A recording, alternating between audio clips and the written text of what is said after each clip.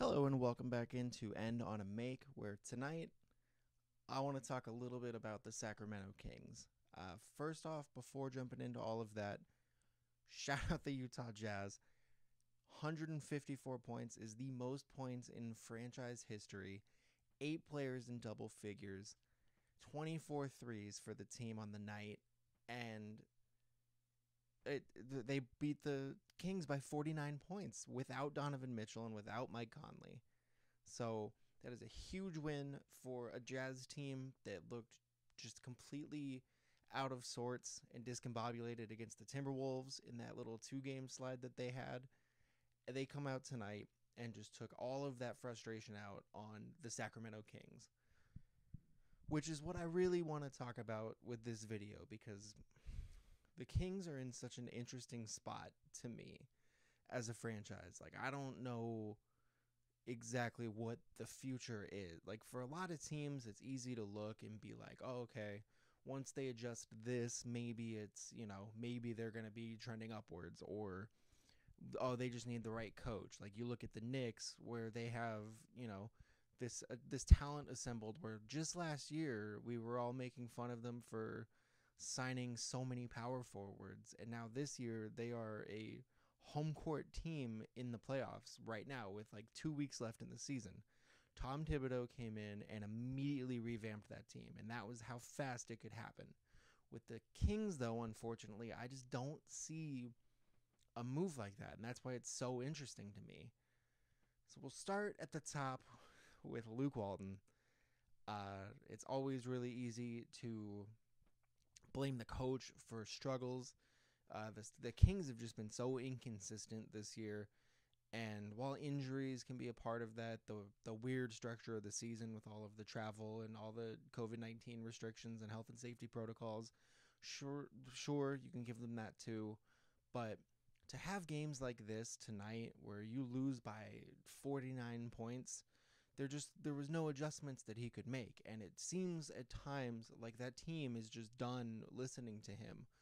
The other day they lost a close game and you know their shot at the buzzer was a Harrison Barnes step back 3 that was heavily contested. Like Tyrese Halliburton their rookie this year has been he had been cutting up getting to the bucket whenever he wanted.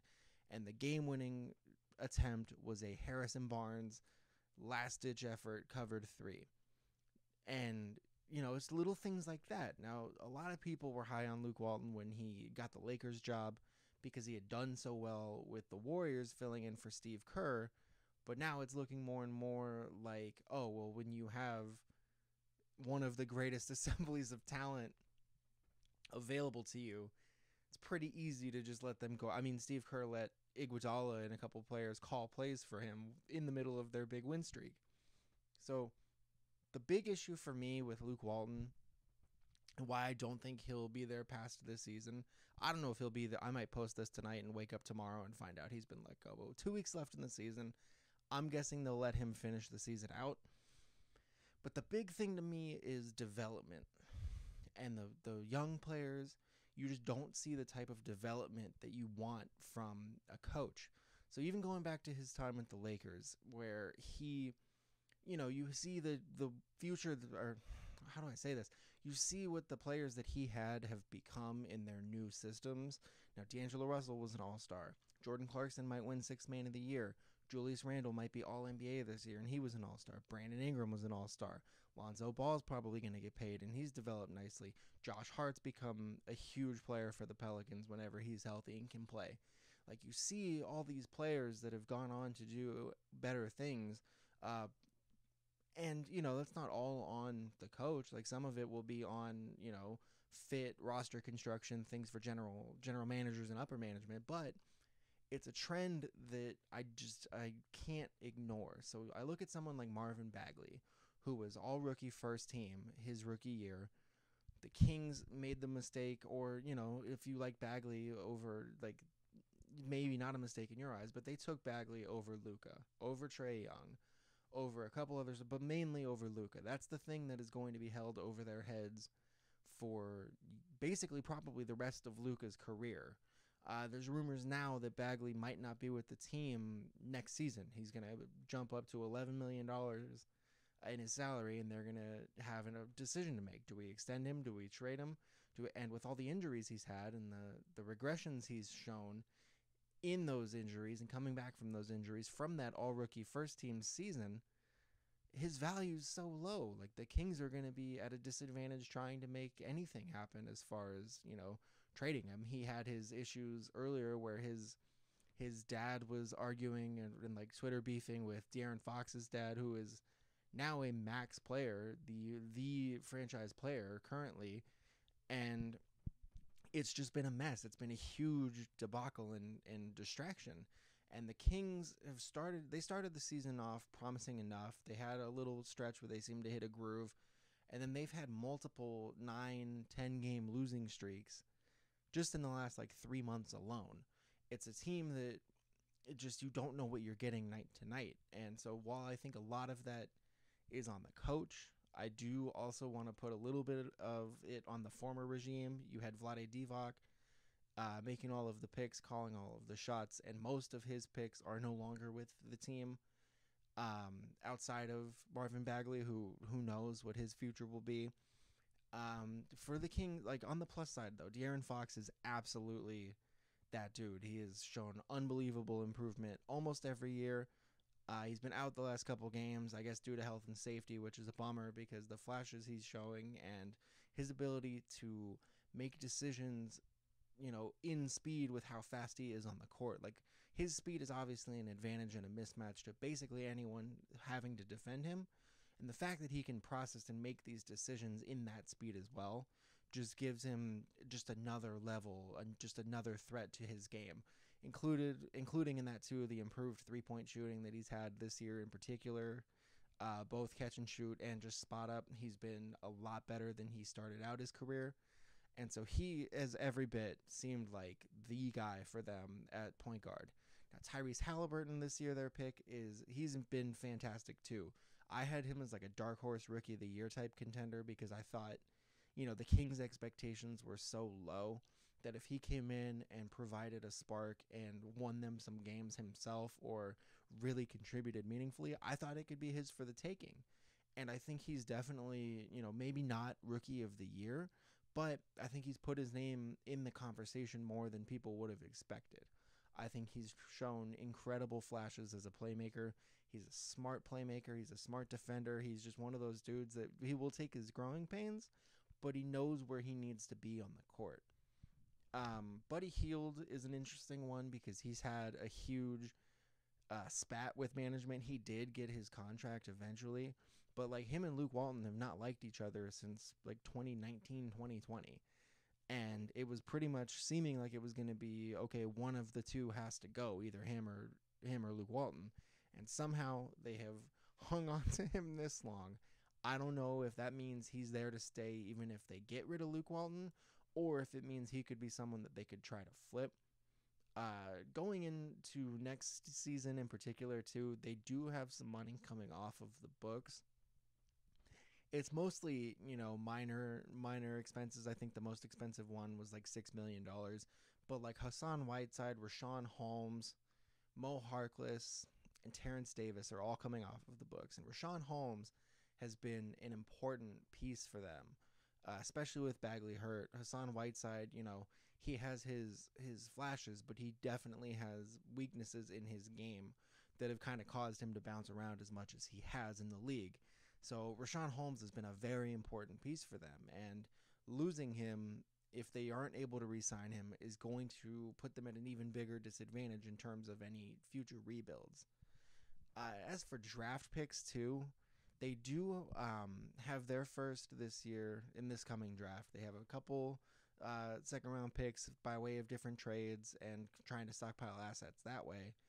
But the problem is they're like not middle of the pack. So they're 12th in the West right now. And that puts them compared to everybody else probably in like the range for like an eighth, ninth pick, depending on how the lottery ends up working with these changed uh, rules and everything. So they they might be looking at like a bottom towards the end lottery pick again, where like they got Tyrese at twelve, I believe, and you know that was a steal. That was a great get for them, but I just don't know if they're going to be able to keep getting those impact players. And it's funny because I grew up hating the Kings. I grew up as a Laker fan, as the basketball next to me will probably dictate.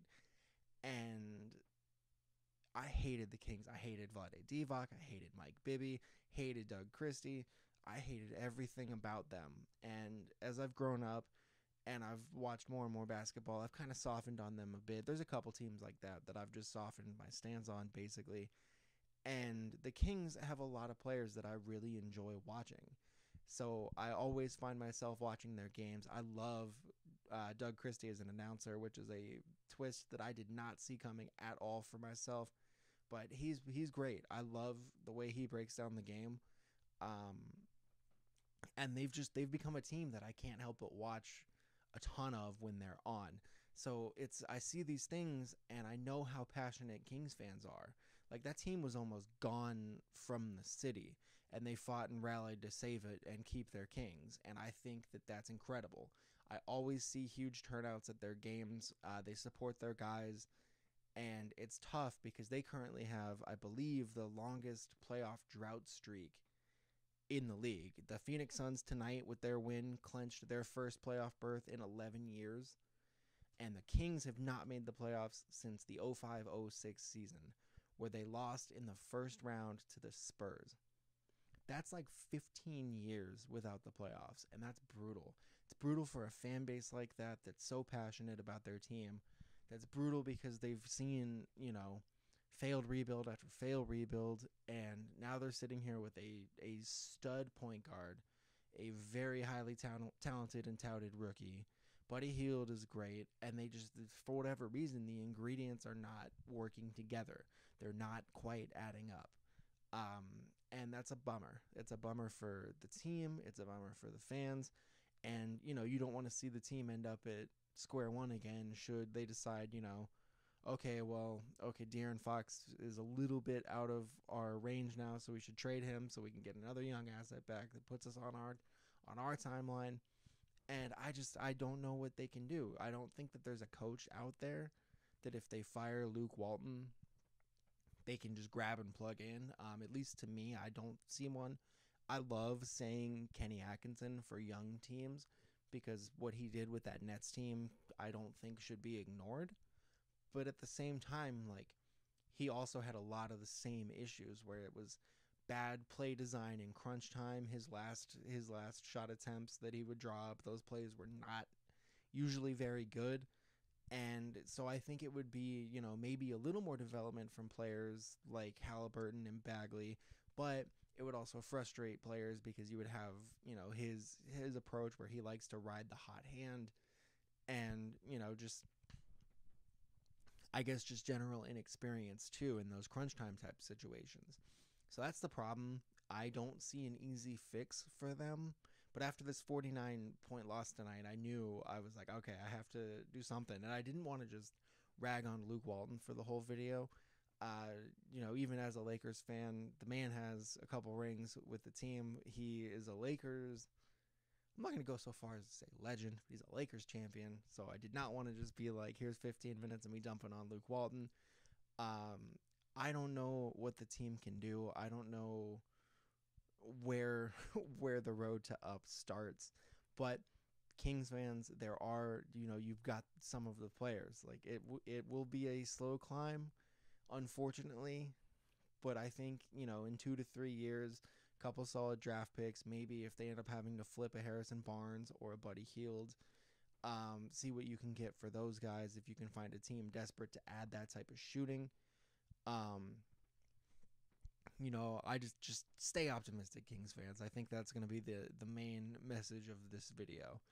Uh, hopefully, in two weeks, you get a clearer idea of the future uh, get a new head coach in there. Maybe you know, maybe the draft lottery breaks your way. But I'm sorry that it's come to this where that's all I can all I can offer. Uh, if you're a Kings fan or if you have thoughts on who should coach them or what type of moves that they might be able to make, please drop them in the comments because I really can't think of anything outside of uh, draft picks and hitting on those. So let me know in the comment section. Thank you for watching, and I will be back soon.